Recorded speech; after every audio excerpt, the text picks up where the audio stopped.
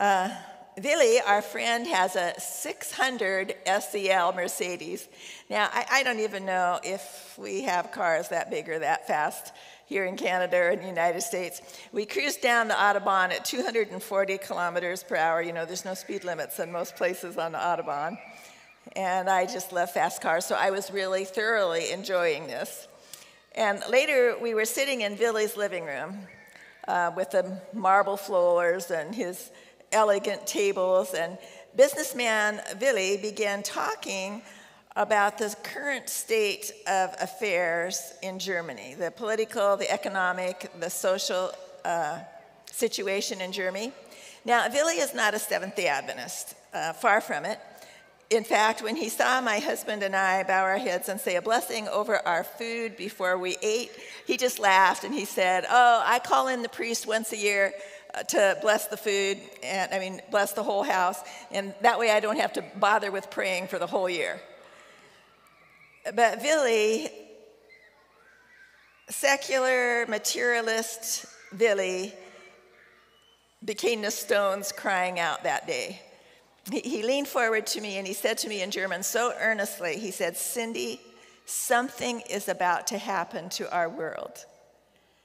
And I thought to myself, yeah, of course, something is about to happen to our world. Jesus is about to come. And on this eve of the greatest crisis the world has ever seen, are you praying for your family? Are you praying for your friends? Continually, earnestly, in faith that God is hearing, regardless of what you are seeing. So, how does Jesus encourage us to be constant in prayer, always in prayer? So, the, Jesus said, I tell you the truth, my Father will give you whatever you ask in my name. Until now, you have not asked for anything in my name. Ask and you will receive, and your joy will be complete. They will not toil in vain or bear children doomed to misfortune, for they will be a people blessed by the Lord, they and their descendants with them. Before they call, I will answer, and while they are still speaking, I will hear. Isaiah 65, 23. This is the confidence that we have in approaching God. That if we ask anything according to his will, and we know it's his will that our children be saved, right? So we don't have to add even the caveat for this one. Um, he hears us. And if we know that He hears us, whatever we ask, we know that we have what we have asked of Him. 1 John 5 14 and 15. And I'll tell you, I'll be honest with you, this kind of confidence is hard for me sometimes. But what's helping me is to praise God for the littlest evidence that He is at work in the lives of my family and friends.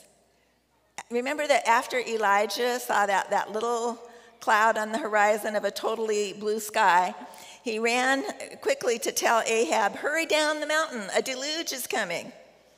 And that's how I want to be when I see the smallest breakthrough. I want to praise Jesus for it and in the process of thanking and praising Jesus, my own faith increases. Faith is being sure of what we hope for and certain of what we do not see. I, I, want us to remember that faith is being sure of what we hope for, and it's the to be certain of what we do not see. That's what I really want to emphasize right now. It's to be certain of what we do not see. So if your heart is broken over the choices that some of your family and your family members are making, um, this one brings me comfort. In my distress, I called to the Lord, and He answered me. From the depths of the grave, I called for help, and you listened to my cry. That's Jonah 2 2. The times in which we live are not ordinary, they're not ordinary at all. Ellen White writes, moral darkness, like a funeral pall, covers the earth. All man, manner of false doctrines, heresies, satanic deceptions are misleading the minds of men. Without the spirit and power of God, it will be in vain that we labor to present the truth. We must have the Holy Spirit of God to sustain us in the conflict, for we wrestle not against flesh and blood, but against principalities, against powers, against the rulers of the darkness of this world, against spiritual wickedness in high places. That's, you know, that's why, you know, we can't just do this half heartedly. If we're wrestling against the devil himself, we got to be pretty earnest about this. Isaiah chapter 59, verse 16 says that God himself is amazed that there was no intercessor, no one praying for others in times like this. I, I think if we could see the conflict between Christ and his angels and Satan and his angels, over the souls of our dear ones, we would just not cease to pray for the Spirit of God to intervene. Certainly, we should be praying for our family and friends, right? And we'll talk more about that in just a moment. But who else should we be praying for? Surely, we should be praying more and doing less criticizing of the leaders of our local and global church? Are we hoping to see the whole church revived? That time will never come. There are persons in the church who are not converted and who will not unite in earnest, prevailing prayer. We have to enter upon the work individually. We must pray more and talk less. Don't you love that? That's why I try to get done in these sessions a little bit early so that we can pray more and talk less. Uh, that, that's from volume one of the selected messages, page 122. So, who else can we pray for in these last days? Certainly our governments, the leaders of our nations, because Paul says, I urge then, first of all, that requests, prayers, intercession, and thanksgiving be made for everyone for kings and all those in authority, that we may live peaceful and quiet lives in all godliness and holiness. This is good and pleases God our Savior. 1 Timothy 1, 1 Timothy chapter 2, verses 1 through 3. So we got to wrap our minds about that, don't you think, brothers and sisters? We're a little bit reluctant sometimes, particularly if we don't support uh, the leaders of our local church or our municipality or province or, or nation, even, we, we have to say, Really? I got to pray for him? But what did that say? This is good and pleases God our Savior. We can also play, pray an intercessory prayer for the salvation of our families, for our children, our spouses, our grandchildren, the youth of our church. But before we return to this topic of intercessory prayer, let's just talk a bit about how we should pray. Do you have this book? It's just terrific. It's helped me to know so much more about how to pray. Have you seen that book? Do you have it? It's over there in the ABC in that same place that I was telling you about. Um, there's just so much in it. We're just going to take a few things from these four chapters that are listed up there on the screen. We're going to just take a few things from that book today before we get back to intercessory prayer. I don't want you to ever say that Ellen White didn't have a sense of humor. She wrote, There are some, I fear, who do not take their troubles to God in private prayer, but reserve them for the prayer meeting and there catch up on their praying for several days. Such may be named prayer meeting killers their cold, frozen prayers and long, backslidden testimonies cast a shadow. That's from Testimonies, Volume 2, 578. She writes The prayer of faith is never lost, but to claim that it will always be answered in the same way and for the particular thing that we have expected is presumption. So we don't know exactly how God is going to answer our prayer. We don't dictate to Him how to answer it, just the general heart cry. Do our prayers need to be oratorical masterpieces? Ellen White writes All the flowery words at our command are not equivalent to one holy desire. That's from Thoughts of the Mounts of Blessing, page 86. And then she goes on and says, Prayer is no evidence of conversion if the life is not changed. Messages, Messages to Young People 71.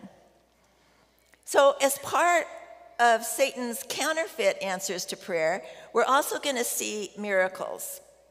So, the persons will claim to be healed in the name of God, but because they reject the law of God, which is his character, that healing comes from Satan, exactly.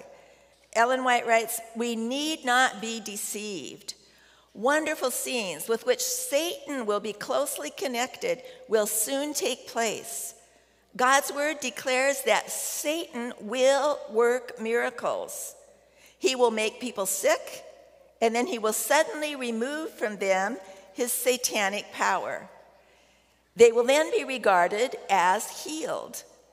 And then she says something incredible.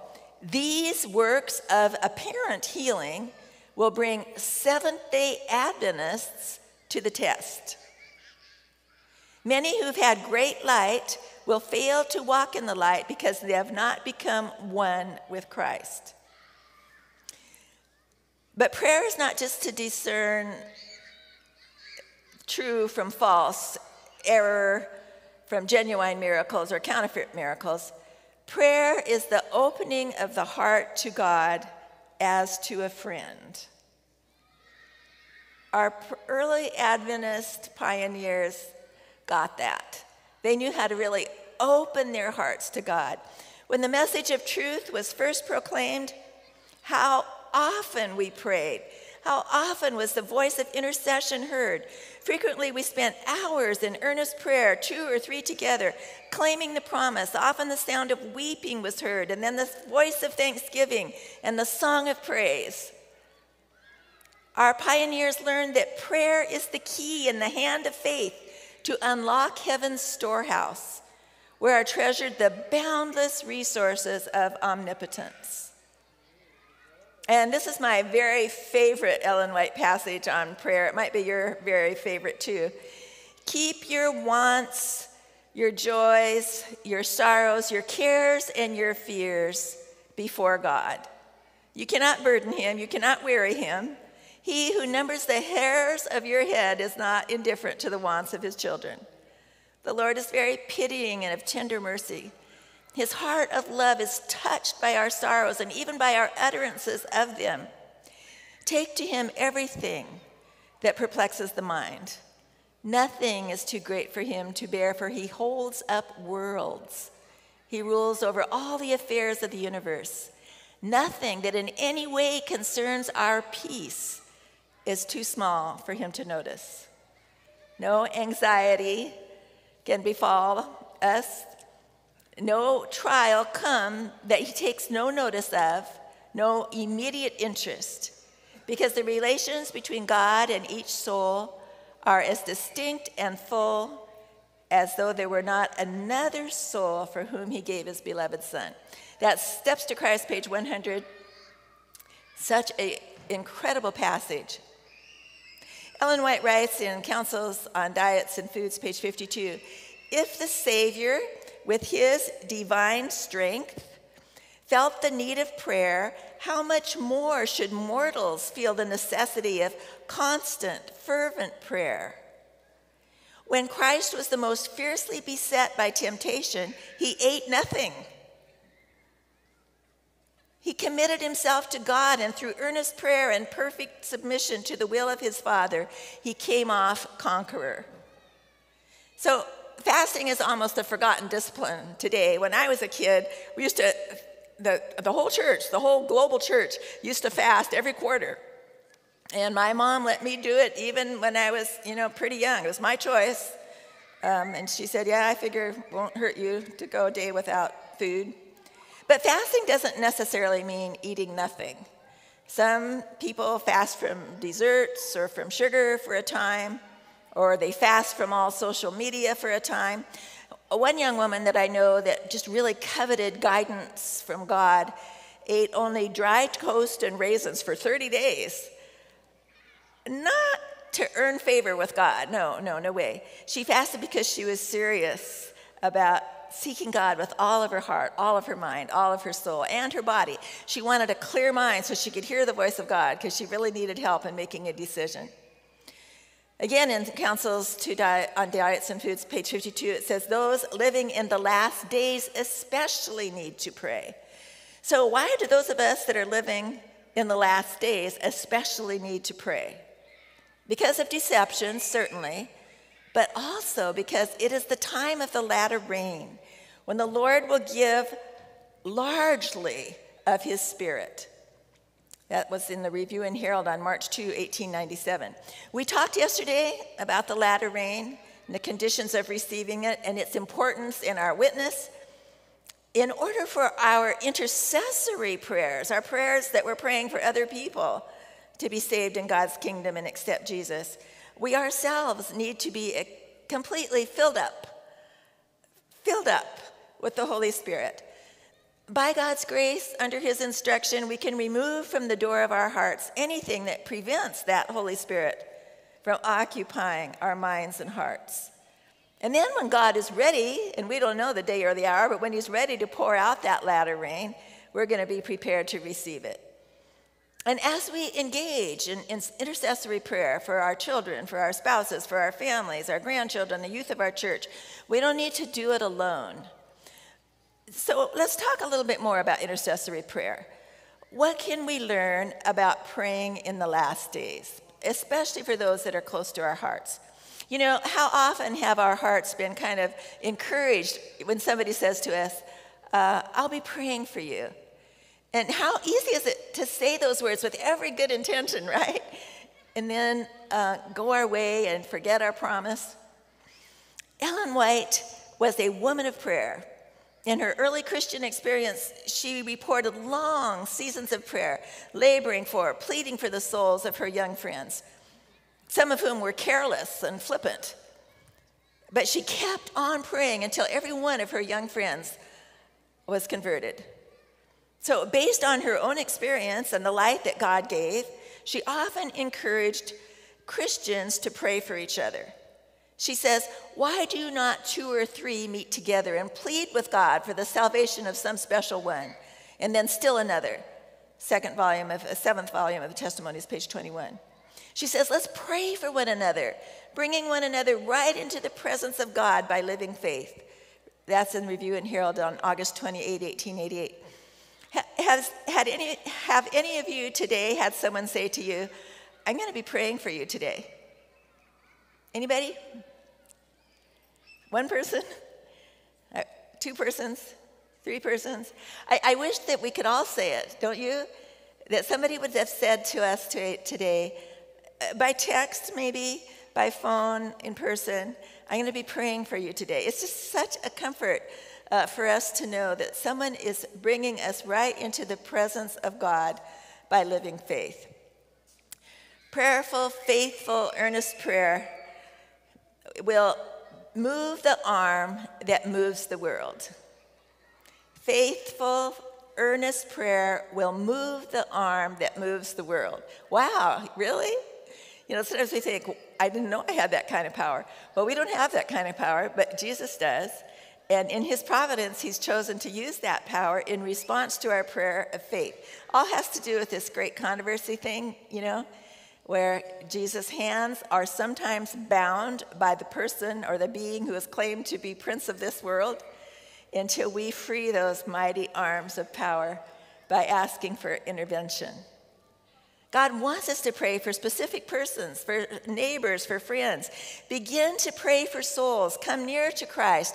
Come to his bleeding side. Let a meek and quiet spirit adorn your lives, and let your earnest, broken, humble petitions ascend to him for wisdom, that you may have success in saving not only your own soul, but the souls of others. Testimonies, Volume 1, 513. I wonder sometimes if our prayers for others are just a little bit tame and spiritless, or are they prayers of real earnestness? Do, do we even know how to pray prayers of real earnestness? I'm asking the question of myself, too. Souls are to be sought for, prayed for, labored for. Earnest petitions are to be made. Fervent prayers are to be offered. Our team, spiritless petitions, are to be changed into petitions of intense earnestness. And I love the optimism of this statement be always kind and courteous, cheerful and hopeful. Keep praying, keep working for souls. That's Manuscript Releases, Volume 6, 379. So, of course, I hope we are praying for our neighbors by name, for opportunities to help them, uh, and to also maybe say a word speaking well of God to them. But who is closest to our hearts? For many of us, our children are closest to our hearts, right? We should pray to God much more than we do. There's great strength and blessing in praying together in our families with and for our children. Have you ever wept over your children's spiritual journey? Ah, here, see a few heads nodding. Those who sow in tears shall reap in joy. Psalms 126, 5. And here's another precious promise for parents do not be afraid, for I am with you. I will gather you and your children from east and west and from north and south. I will bring my sons and daughters back to Israel from the distant corners of the earth. Isaiah 45, 5 and 6. But now the Lord says, Do not weep any longer, for I will reward you. Your children will come back to you from the distant land of the enemy. Jeremiah 31, 16. The distant land of the enemy is a symbol of our children who are in Satan's playgrounds, far from the safety of the kingdom of grace. And this promise is for them. And you know, this, this picture actually illustrates the joy of, a, of parents who lost their child in death, and so this is the resurrection. But I think there's another application to this, and that is the joy that we have when we receive our children back from spiritual death, right? Here's another beautiful promise look and see, for all your children will come back to you. As surely as I live, says the Lord, they will be like jewels or bridal ornaments for you to display. For I will fight those who fight you, and I will save your children. You know, we're concerned about the influences of our children, right? So these are those who fight us uh, the media, social media, friends who have rejected spirituality, um, all kinds of temptations that Satan throws in the in the face of our children and our grandchildren. So here Jesus says, I will fight those who fight you, and I will save your children. Isaiah 49, 18, and 25. So I see a few people that are almost, not quite, but almost as old as I am. Let me ask you a question. Uh, do we quit praying for our children when they turn 18? there you go, right on. If parents would feel that they are never released from their burden of educating and training their children for God, if they would do their work in faith, cooperating with God by earnest prayer and work, they would be successful in bringing their children to the Savior. Isn't that beautiful? Oh, I, I have to read that by faith sometimes. That's Signs of the Times, April 9, 1896. Let Christ find you his helping hand to carry out his purposes. By prayer, you may gain an experience that will make your ministry for your children a what? Perfect success. That will make your ministry for your children a perfect success. Child Guidance, page 69. The Spirit loves to address the children. Isn't that a wonderful promise? The Spirit, the Holy Spirit of God, loves to speak to the children and discover to them the treasures and beauties of the Word, which will be as a barricade against the temptations of the enemy. The sparks of heavenly love will fall upon the hearts of the children. My Life Today 44. How about this one, Child Guidance 256? After you have done your duty faithfully to your children, then carry them to God and ask Him to help you. Tell Him that you have done your part. And then in faith, ask God to do His part, that which you cannot do. Child Guidance 256. God is pleased with the faith that takes him at his word. The mother of Augustine prayed for her son's conversion. She saw no evidence that the Spirit of God was impressing his heart, but she was not discouraged. She laid her finger upon the texts, presenting in deep humiliation her earnest petitions her unwavering faith prevailed, and the Lord gave her the desire of her heart. Today, He's just as ready to listen to the prayers, the petitions of His people. For what? In the context, she's talking about prayers for children, right? Testimonies, Volume 5, 322. The Savior is woman's best friend today and is ready to aid her in all the relations of life. What would that be? The relations of life? spouse, children, grandchildren, neighbors, church members, all the relations of life. No work can equal that of the Christian mother. How often we will feel her burdens. We will feel her burdens weight heavier than she can bear. And then how precious the privilege of taking it all to her sympathizing Savior in prayer. Do not expect a change to be wrought in your children without patient, earnest labor.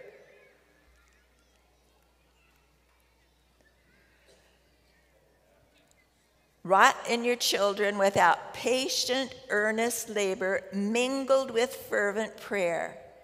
To study and understand their varied characters and day by day to mold them after the divine model is a work demanding great diligence and perseverance and much prayer with an abiding faith in God's promise. That's from Signs of the Times, May 4, 1888. The desire to be a blessing discovers the weakness and inefficiency of the worker. This drives the soul to God in prayer. And the Lord Jesus gives light in His Holy Spirit. And they understand that it is Christ who does the melting and breaking of the hard hearts. Did you catch that? It's not our scolding, it's not our nagging or lecturing. It's Christ who does the melting of the hearts of our children. So, besides our friends and our children, who else can we pray for? Well, we mentioned government officials, but we can also pray for the youth of our churches, whether or not we are related to them. Let those older in experience watch over the younger ones. And when they see them tempted, take them aside and pray with them and for them. Messages to Young People, page 18. You know, I've had the opportunity to travel for the White Estate in all 13 divisions of the Adventist Church preaching in 61 countries, sometimes to youth, sometimes to adults. But when I've preached to the youth or spoken to the youth, told stories to the youth, I've often asked them, Has anyone other than your parents ever prayed with you one on one? So, did you catch the question? I said to them, Has anyone other than your parents ever prayed with you one on one. And only once in all these places that I've asked this question did a young person raise his hand. So that was really shocking to me, and I think that we need to consider that. You know, are there youth in our churches that we don't even know their names, much less have any kind of rapport with them that would make it strong enough? Hi that would make us have a relationship with them that is strong and tight enough that we could ask them, Hey, I'm so glad you came to church today. I'd, I'd like to pray with you. Is there, do you have anything special that, that I can say a prayer with you concerning? And I can tell you that, that those kids that seem so distant and maybe so uninterested and maybe so parking lot ish or back row ish, um, we'll still respond if we take an interest in them. And if we do that on a regular basis, the time will come when the Spirit will prompt you to ask them if you could pray for them. Just them, one on one, just you and them. Don't go off in a broom closet in the church, just, you know, somewhere in a corner in a public place, have a prayer. In addition to our youth, we can pray together for other specific persons in our communities. Solicit prayers for the souls for whom you labor. Present them before the church as objects for supplication. It will be just what the church needs to have their minds uh, called from their little petty difficulties to feel a great burden, a personal interest for a soul that's ready to perish. Medical Ministry, page 244. And I thought, you know, that's kind of true. We, we can argue about silly things, you know, the color of the carpet or whatever. Uh, but if we were getting together to pray for specific people in our church that maybe haven't attended for a while, or maybe the youth of our church, certain people, um, it would take our minds, hopefully, off the silly things that we can sometimes fight about. The blessing of the Lord will come to the church members who thus participate in the work, gathering in small groups daily to pray for its, for its success. So, you know, we might not be able to pray in person, especially in Canada where your distances are, are pretty great. Uh, but we could come together um, on the phone, or we could come together uh, for a special weekend of a prayer emphasis. For a while, while my husband and I were attending the Tacoma South Side Seventh day Adventist Church, the pastor opened the church every morning at 5 o'clock because the commute in Seattle, as many of you know, is absolutely horrendous. So a lot of people, including myself, would leave um, at 5 in the morning because I wanted to get all the way up to Bothell from South Tacoma uh, before the heavy traffic set in, when, in which case it would take me three hours to get to work. If I left at 5 in the morning, I could get there in 59 minutes. And so if I, he, he, saw this need and he said, well, those of you who are working, if you would like to stop by the church at 5 in the morning on your way to work or before you go to work, uh, we could pray together. So I came several times and there were always people there waiting, or not waiting, but praying. And so we just would slip into the little, the little chapel there at our church and pray with whoever was there. It was a really a precious memory that I have. It's good to give some thought to how prayer could be emphasized and practiced more, you know, in your local church as well as the conference and division and worldwide prayer initiatives. We should hold convocations for prayer asking the Lord to open the way for the truth to enter the strongholds where Satan has set up his throne. What? Are there strongholds right now where Satan has set up his throne? Think about pornography. It, it, is a, it has a stranglehold on many in our churches. Other addictions where Satan has set up his throne we have to pray earnestly together that, that God will dispel the shadow that Satan has cast across the pathway of those whom he's seeking to deceive and destroy.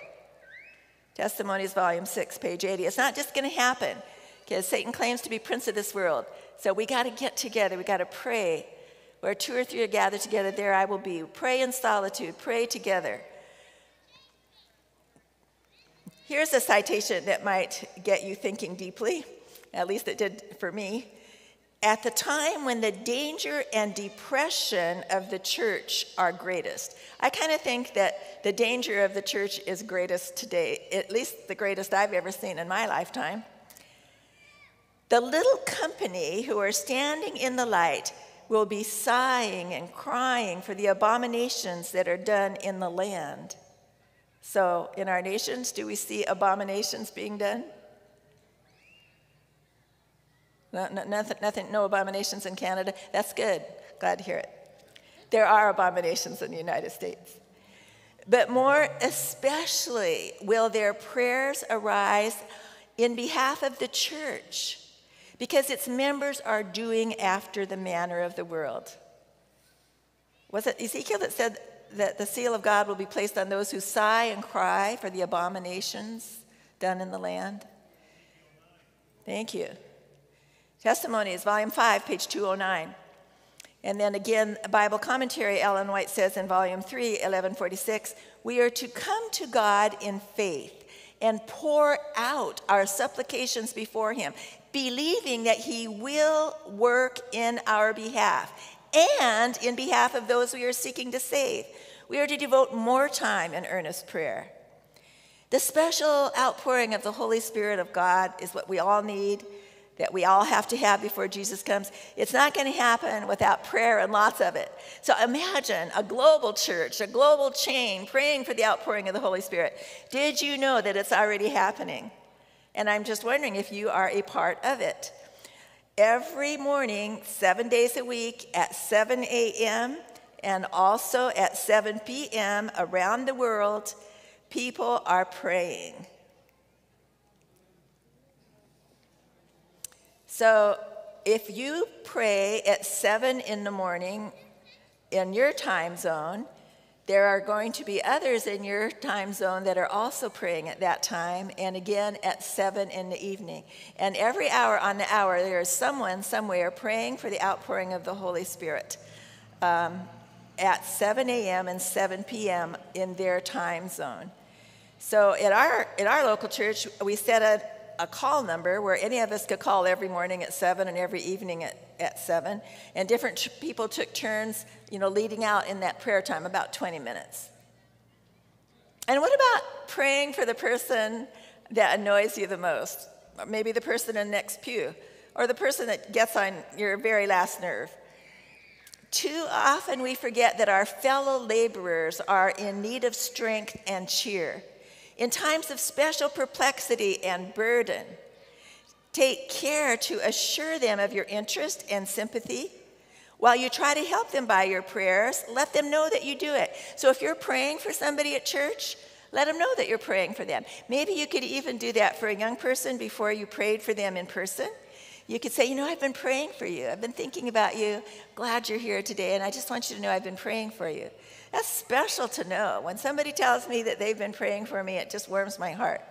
Ellen White says, Send along the line God's message to his workers. Be strong and of good courage. That's Testimonies, Volume 5, page 322. There's another way that our prayers can be prevented from being answered. It's quite a dramatic story. I want to share it with you. Ellen White had a dream. And in this dream, she saw Dr. John Harvey Kellogg, you know him, standing around gossiping with a group of his friends. He was egging them on to say something negative about James White. And when they would say something negative about James White in her dream, Ellen White saw him clap eagerly, yes. And Ellen White wrote, In my dream, I watched Dr. Kellogg go to his room take out the stones of criticism and gossip he had collected and add them to a big pile of stones on the floor. Each stone had a name, some piece of juicy gossip and criticism, and every stone was numbered. So I think Dr. Kellogg must have been fairly systematic. And she wrote further The angel who often accompanied me in vision looked at Dr. Kellogg's pile of stones with sadness and indignation. What are these stones and what are you going to do with them? The angel asked Dr. Kellogg. And Dr. Kellogg looked up with a sharp, cruel laugh. These stones are the mistakes of James White. I'm going to stone him with them. I'm going to stone him to death. And the angel said, You're bringing back the stoning system are you? The Lord has given you a special work to do, but this is not your work. Put down the stones. Satan is the accuser of the brethren. But Dr. Kellogg seemed very defiant, determined, and he said, Elder White is trying to tear us to pieces. He's working against us, and to save my reputation, I shall use every stone in this pile to kill him. And the angel said, and then what have you gained? By stoning James White, did you right your wrongs? Is Jesus sitting on the throne of your heart? You have a higher calling, a more important work. Leave all such work of gathering stones for the enemies of God's law. Brothers and sisters in the faith, eh, brothers and sisters in the faith must love one another, or you are not children of the day, but you are children of the darkness. And then I saw my husband, James White, out gathering stones putting them into a pile, and also getting ready to begin the stoning system. The angel said to my husband, What are you doing? And my husband said, I'm making a big pile of stones to stone Dr. Kellogg. Every time I have a good idea, he opposes me. And the angel said, Elder White, put down those stones. This is not the high and holy work for which God has called you. You have a better, a higher calling. That story really impressed me because I thought, you know, here these were both extraordinarily gifted individuals. And instead of putting all of their energies into the work of God that needed their help so much, part of their energies were used in building up piles of stones to stone each other. I'm thinking of 1 Corinthians 1, verse 10. Now, dear brothers and sisters, I appeal to you by the authority of the Lord Jesus Christ to stop arguing among yourselves. Let there be real harmony so there won't be divisions in the church. I plead with you to be of one mind, united in thought and purpose. 1 Corinthians 1:10. How intense should we be in this prayer business? How intense was Jesus? He says, I will search for my lost ones who, are, who have strayed away, and I will bring them safely home again. I will bind up the injured, I will strengthen the weak. Ezekiel 14, 16. Ezekiel 34, 16. And regarding intercessory prayer, Ellen White wrote, I determined that my efforts should never cease until these dear souls through my had such great interest yielded to God. Several entire nights were spent by me in earnest prayer for those whom I had sought out and brought together for the purpose of laboring and praying with them. Testimonies, Volume 133. I want you to listen to parts of a letter that Ellen White wrote to her husband in 1876. She said, Dear husband, last night I visited Edson. Edson was their son. I talked with him plainly but kindly. But his feelings were very strong that he had been wronged. It seems that um, Edson was very talented musically, and he'd put together a, a hymnal of some sort, uh, maybe some of them his own original works and a collection of others. And he, the, the church publishing house published that hymnal, but he didn't think that they gave him his due in terms of royalties. And he was pretty bitter about it. So he, he, was, he had kind of fallen away from even attending church. He was so angry about what he saw as a misjust, injustice. So she says, I prayed over Edson, but his heart seemed unbroken. I then decided to spend the night in prayer, for our help could come from God alone. I had prayed five times, and Edson prayed four, the last time he broke all to pieces. He made an entire surrender to God in such earnest pleadings and entreaties I have seldom heard. He then prayed again and again and seemed to be in agony of spirit, confessing his wrongs, broken in spirit, his tears freely mingled with his prayers. The room seemed to be lighted up with the presence of God. Salvation indeed had come to that house. He then accompanied me home. I didn't sleep much last night and feel worn out this morning, but very thankful that we broke through the cloud of darkness last night and obtained the victory.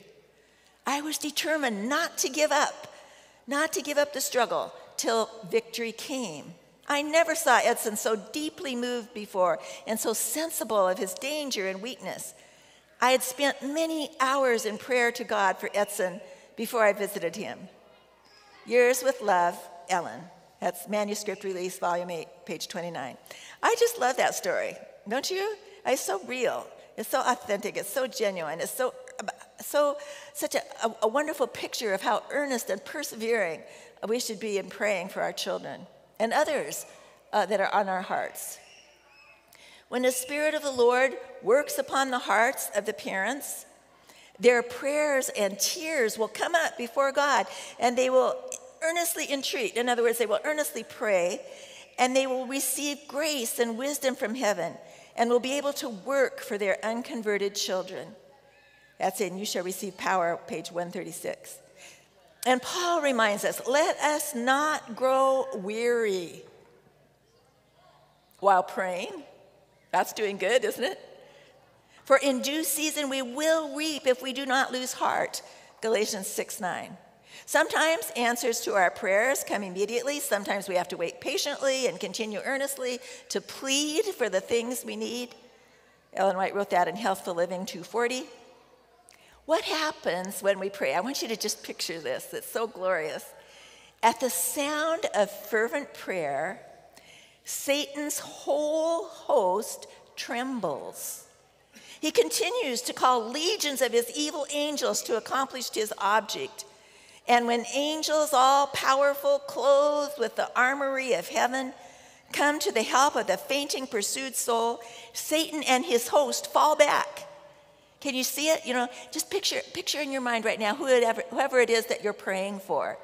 And imagine the host of Satan around them you know, trying to cause them to stumble, trying to keep their faith from blossoming, trying to get them to do wrong. And you get down beside your bed and you kneel and just picture in your mind while you're kneeling there praying for God to put a hedge of protection about them. What happens?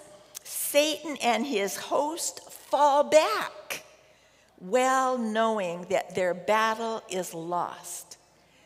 But will he come back to your children? Will they come back to the persons for whom you're praying? Absolutely. So pray again. Be not weary of well doing. Pray as often as you can. Because what will be the parent's reward? With joy unutterable. Parents see the crown, the robe, the harp given to their children. The days of hope and fear are ended. The seed sown with tears and prayers may have seemed to be sown in vain, but their harvest is reaped with joy at last. Their children have been redeemed. Can you picture it? Can you put your child, the person for whom you're praying, in the arms of Jesus as you look at that picture? That's in Child Guidance 569. And when Christ has won the battle in our hearts and in the hearts of our children and our hearts of our neighbors and our friends, what then?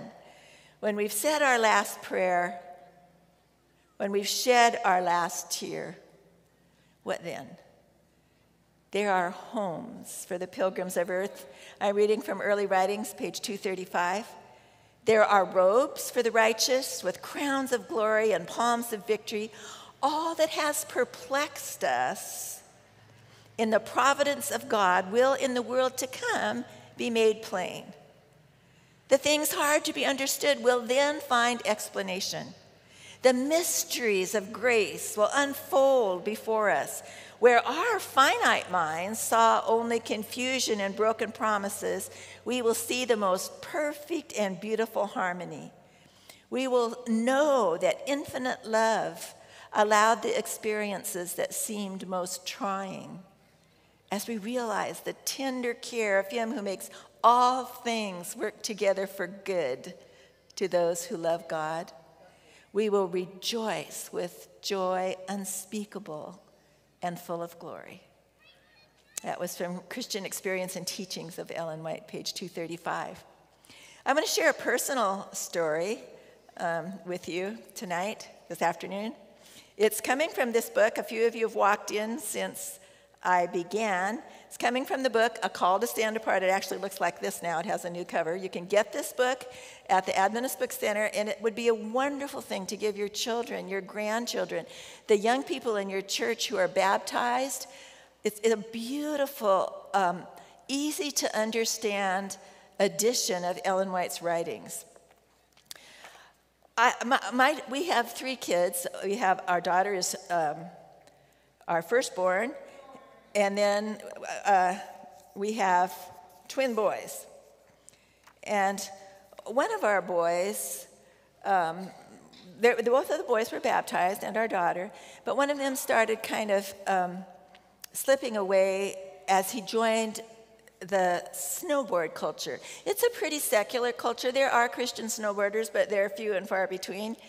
Um, in the, in the professional world. He was semi pro, he had his pictures in snowboard magazines, and um, I'll, I'll show you his picture here.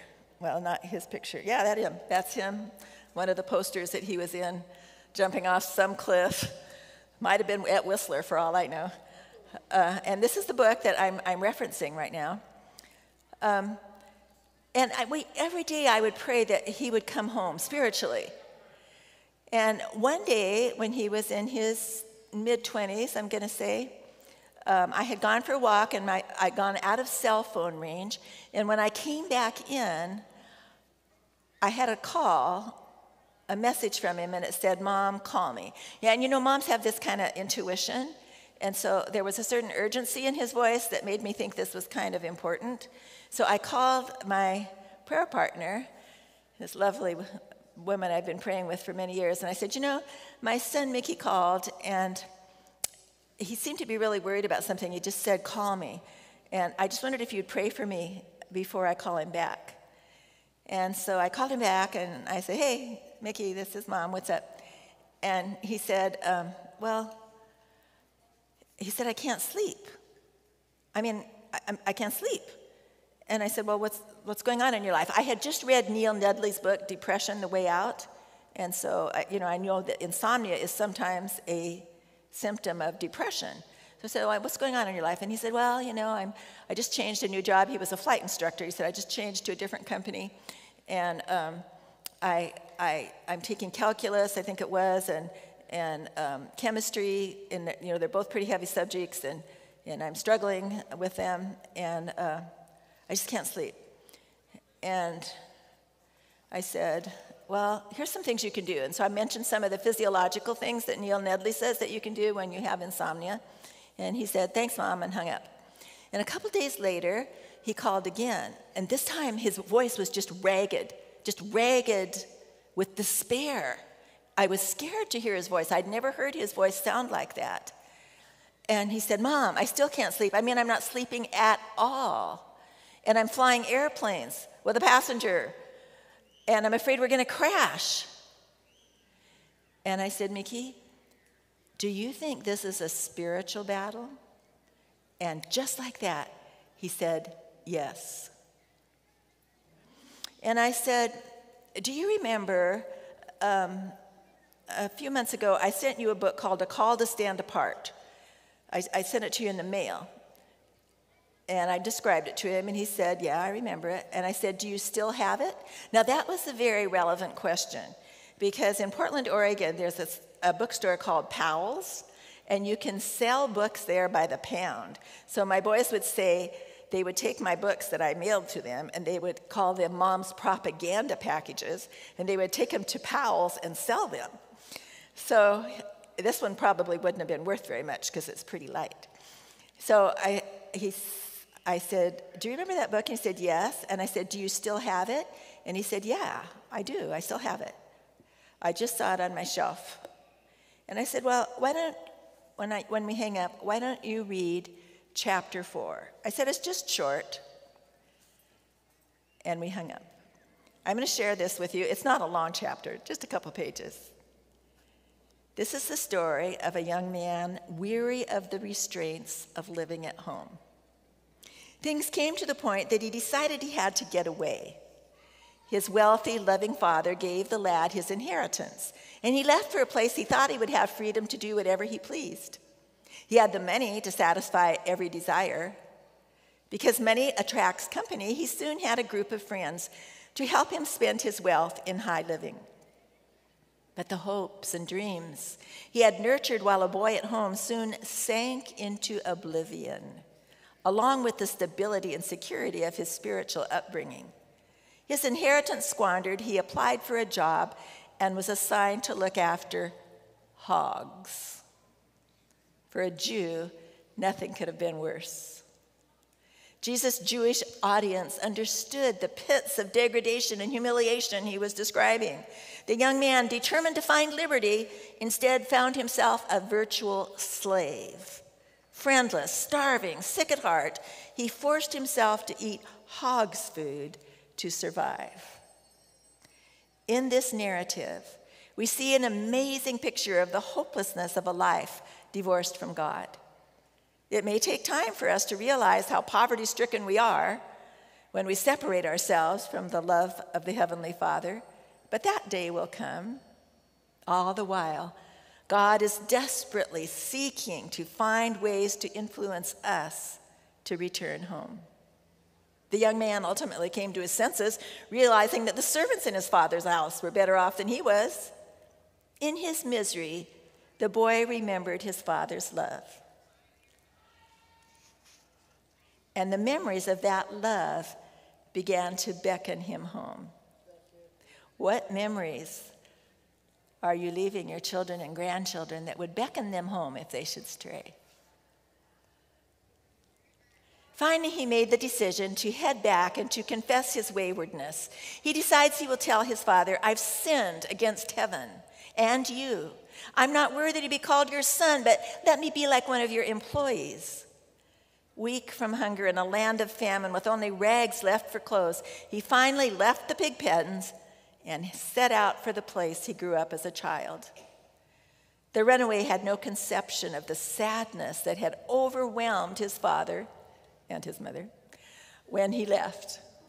He never dreamed of the shadow that came over the whole house when reports filtered back of his wild partying. And no one could have convinced him that every day his father sat, watching, waiting for his son's return. Yet now, with weary and painful steps, he turned eagerly toward home to beg for a servant's position. While still a considerable distance from the house, the father recognized his son and ran to meet him, hugging him in a long, clinging, emotional embrace. You don't believe that Ellen White says that? It's footnoted. Look it up. Oh, she says it in a little bit more 19th century words, but it's the same.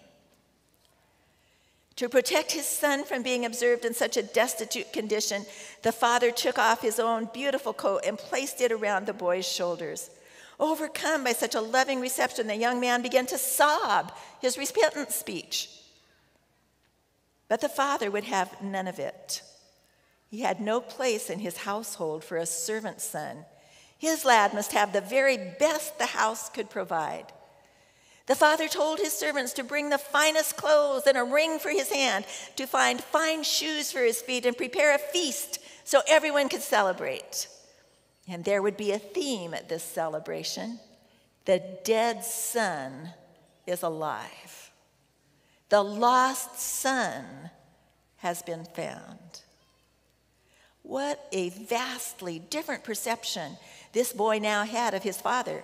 He'd always thought of him as rather stern and severe, but no longer. In his great need, he saw the true character of his father which is what this story is all about. In our rebellion, we often think of God as stern and severe, demanding in his requirements. But when you've been away a long time and are spiritually hungry, dressed in the rags of sin and guilt, then you will see how fully loving and accepting the Heavenly Father really is. When you take even one step towards your Father in repentance. He will run to wrap you in his arms of love. He will forgive your sins and never remember them again. So don't wait or try to clean yourself up so you can be good enough to come to Jesus. If we waited to be good enough, we would never come. Jesus is waiting for you calling you, yearning for you. And all heaven will celebrate when you come home. The next day, Mickey called me and he said, Mom, I read that chapter. And I've been thinking, bar hopping is not really making me happy. The happiest I've ever been was when I was a counselor at Glacier View Ranch working for Ron Whitehead, helping kids know Jesus. That's the happiest I've ever been. And I want to find that happiness again, so I accepted Jesus again last night. About a week later, I came to visit him in his home. The pictures on his wall were different. The music he was playing was different. The food in his refrigerator was different. And when he invited me to study the Sabbath school lesson with him, I nearly lost my teeth. But that's not the end of the story. I want to tell you one more segment of that story, and I'm sure there will be more segments the closer we come to Jesus' return. But this segment has to do with you. This year is the NAD's National Teachers Convention. I forget where it's going to be this year, but okay. Back in the day, I used to go when I worked for the White Estate. I still work for the White Estate, but remotely. So when I was working in the office full time, I used to go to these. And I made a presentation about prayer and our kids, kind of similar to what I did today, but also uh, mixed in with what I'm going to present to you tomorrow um, about youth and their involvement in the church, which some, I'm going to tell you some things that might startle you. Um, and I told this story about Mickey, and I also told the ending of how he came to Jesus, as I just told you. And afterwards, this lady came up to me, and her eyes were kind of misty, and she looked kind of vaguely familiar to me, but I didn't know her name or couldn't place where I had seen her before.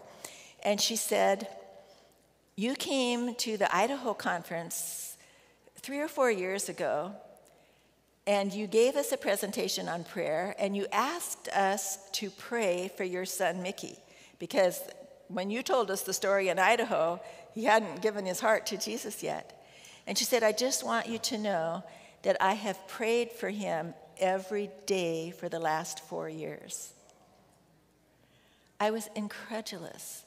The gratitude from inside my heart is just overwhelming that a woman who I didn't even know had taken the challenge, the invitation I had given to pray for my son Mickey for four years every day. To be aware of new videos like this one, be sure to subscribe to the Preparing for the Time of Trouble channel. For more free videos and downloadable audio podcasts, as well as handouts, go to www.preparingforthetimeoftrouble.com. Topic categories include recordings of live seminar presentations, country living, sustainable gardening, homestead remedies, how to be self-sufficient when the grid goes down, wild edible and medicinal plants, hydrotherapy, and end-time Bible prophecies. To take advantage of these free resources, go to preparingforthetimeoftrouble.com.